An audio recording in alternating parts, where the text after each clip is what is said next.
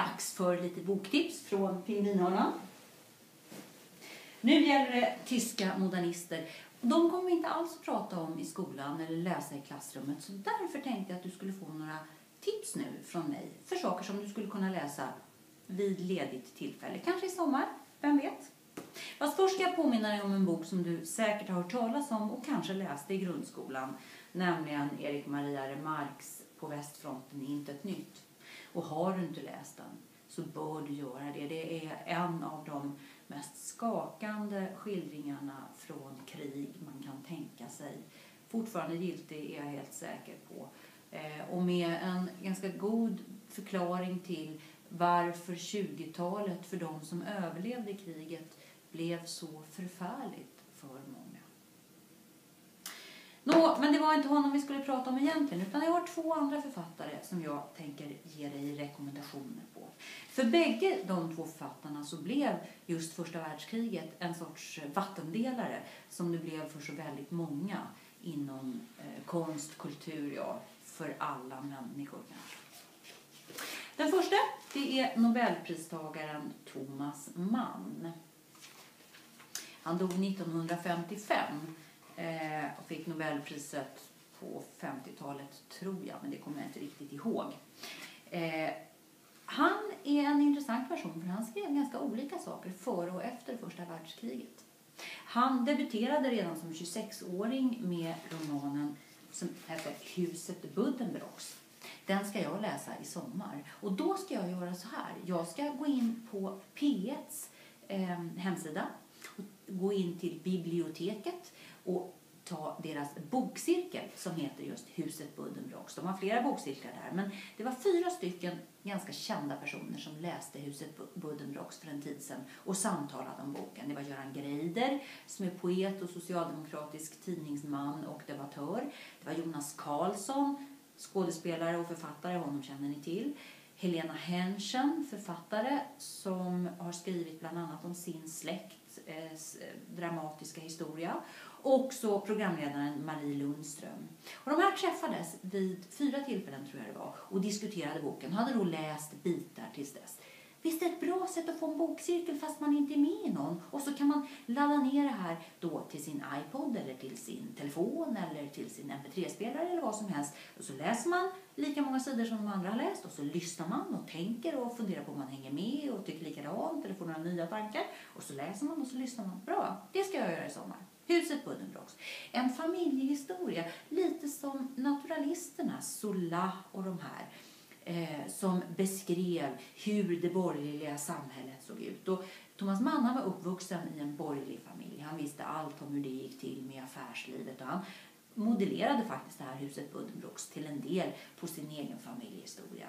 Men det går inte så bra för Buddenbrooks, inte mot slutet i alla fall. Därför att det finns någonting i det här att vara framgångsrik i affärsvärlden som fungerar ganska dåligt med att vara människa, särskilt om man är intresserad av konstnärlighet och, och andra värden. Och den här bron över, eller brist på bron mellan det konstnärliga livet och, och familjekrav och sociala krav, det diskuterar Thomas Mann en hel del i den här romanen. Som blev en dundersuccé, sålde jättemycket och fortfarande betraktas som en fantastisk roman. Nyöversatt till svenska, inte för så länge sedan. Finns i pocket för 150 kronor, såg jag faktiskt på Akademibokhandeln bara för någon dag sedan. Det ska bli min sommarlektyr tillsammans med de här i eh, biblioteket alltså. Men Thomas Mann har skrivit annat också. Annat också.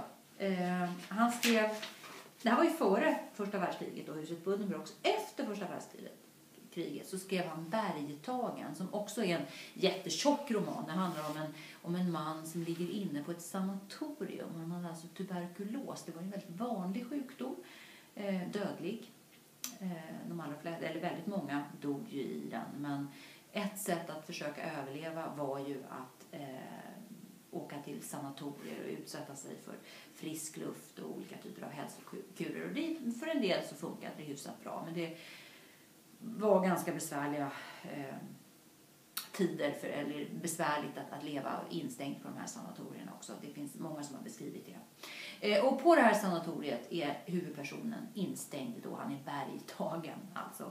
Eh, och där diskuteras väldigt mycket av de idéer som har funnits i Europa. Och framför allt gör Thomas Mann upp med den tyska och franska nationalismen och översitteriet som han har sett och själv varit en del av fram till och med faktiskt det första världskriget. För också under det första världskriget var Thomas Mann rabiat, ärketyskt, ehm, för det tyska mot alla andra. Men efter kriget så ändrade han sig och insåg att, att så här kan man inte ha det. Resultatet av det han hade krigat för eller varit för blev så förödande. Så han blev en väldigt stark eh, kämpe för demokrati eh, och blev också en väldigt stark kämpe för tysk kultur som något helt annat än det nazismen eh, präglade Tyskland under. Thomas Mann lär ha sagt att tysk kultur, det är där jag är och det, det låg det kanske någonting i där ett tag. Men det fanns ju andra tyskar än han som skrev eh, annan litteratur än den som nazisterna uppskattade. Eh, Hermann Hesse är ett annat namn som jag tycker ni ska lägga på minnet. Där finns det två böcker som jag särskilt vill rekommendera. Bergtagen och Huset Buddenbrooks var tjocka böcker. Vill ni ha en tunn bok men med stort innehåll då kan ni välja Siddhartha. Siddhartha känner ni kanske igen. Det är namnet på eh, Siddhartha Gautama, namnet på den man som blev Buddha enligt Buddha-legenden. Och det är just Buddha-legenden som eh, Hermann Hesse eh, väljer att, att, skriva om eller göra till sin egen för att diskutera vad är en människa. För Hermann Hesse han kände efter första världskriget att det här är helt hopplöst. Vad ska man göra? Han lämnade politiska tankar och gav sig iväg för att tänka hur ska människan som individ kunna överleva? Vad är det jag måste tänka på? Och försöka hitta andliga sanningar. Och han och många andra vände sig då till Asien, asiatiskt tänkande. Siddhartha är en tunn bok men den är innehållsrik. Eh, Hesse använder legenden om Buddha men han gör den också till sin och förändrar den och diskuterar vad är riktigt liv? Vad är en människa? Vad är meningen med alltihopa? Hur ska man leva? Den här boken den var en kultbok, blev en kultbok genast och den har varit det framgent. Minst lika cool som när man läser Dostojevskij är man när man har ett exemplar av Siddhartha i rockfickan. Finns också i pocket. Kan rekommenderas.